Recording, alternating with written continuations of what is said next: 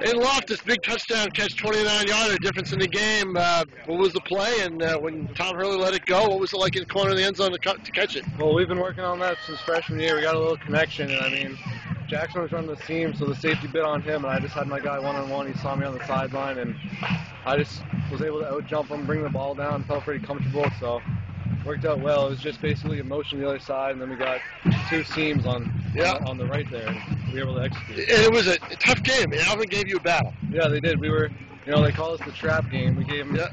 They came back and uh, came out hard, and we were caught off a little bit. So we had to respond. We got it done barely Great. though. So. Nice lot. Congratulations.